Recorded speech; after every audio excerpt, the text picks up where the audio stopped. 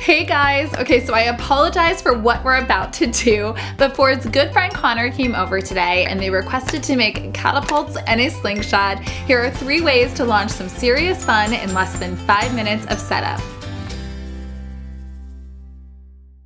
So first we've got our clothespin catapults. You'll of course need clothespins, a craft stick, a piece of cardboard, and a bottle cap or small container.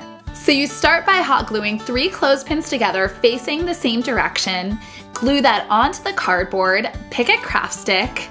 Green, green, green, green. I love green. And of course, moms should be doing this. Do you know why? It's hot as lava. He's well trained. Secure that stick in your container on top. It stores energy and then it releases it. And then we have ping pong balls, but you can really launch anything. Of course the boys got a total kick out of this. Who wouldn't? Yeah. Alex was a big target today. we both got you. And if you've got little ones, this is the one that they can do. But we found it helps to tape down the cardboard. Next up, if you don't have clothespins, I know you have a cork. For these shooters, in addition to one cork, you'll need craft sticks, rubber bands, and a plastic spoon. Start by tying two sticks together, slide your spoon in, and secure that with another rubber band around the top stick.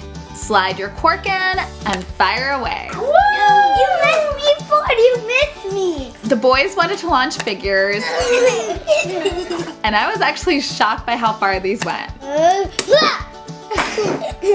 And finally, we've got our DIY slingshots. For this, you'll need an empty paper towel roll, rubber bands, a pencil, and tape.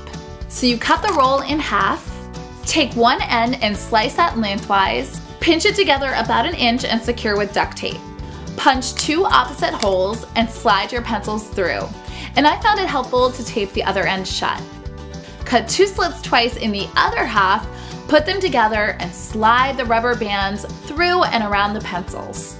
Pull back and you've got some serious punch. Yeah. Marshmallows work really well, although there is a cost. No more Ford, no. No, Ford. Oh. All right guys, I hope you gave this a try. So much fun with such little setup. Ah! And do not forget to check out our brand new website where you can see all of our activities and search by age, plus tons of other exclusive content. And you can subscribe. It is free, so you have no excuse. I will see you next week. Bye.